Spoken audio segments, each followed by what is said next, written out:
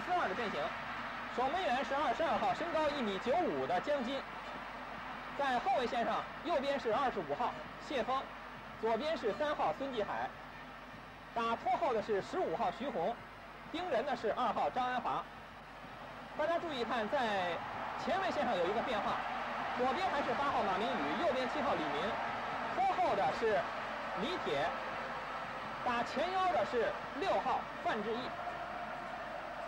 在前锋线上，右边是十号郝海。我们在赛前呢，在贵宾室里见到了王俊生，他也向我们介绍一些情况。这个接应的点稍微少了点。对对。啊，一个人带球，一个是突破，利用速度，那么其他队员注意包抄选位。这也是反过来说明卡塔尔队员呢，嗯，进攻退守的速度，整体协防的组合能力还是不错。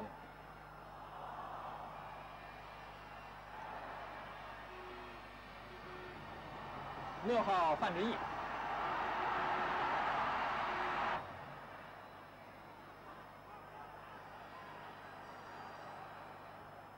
再利用直传。郝海东十号，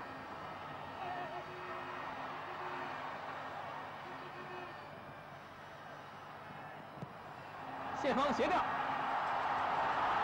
射门，不球不离，好球！这是在上半场比赛进行到二十分钟刚过的时候，中国队是谢峰斜传跟上了范志毅，抢到禁区里边再一横敲，由左边跟上的队员十一号高峰一个漂亮的前冲。头球攻门，这样中国队是先下一城，场上的比分变成了一比零。大连的金州体育场这时候是一片欢腾。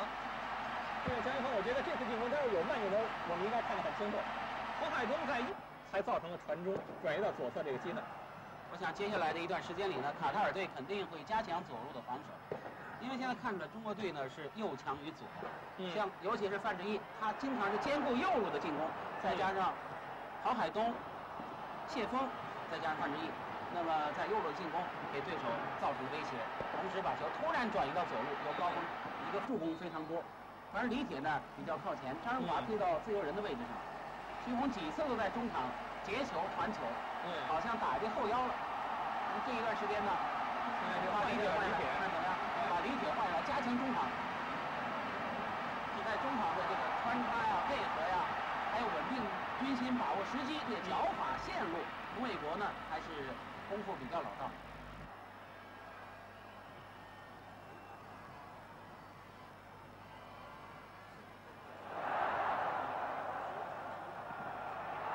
可以。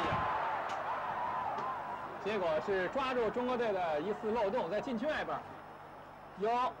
六号是达伊阿尔纳伊米，一脚射门成功了，这样场上的比分变成了一平。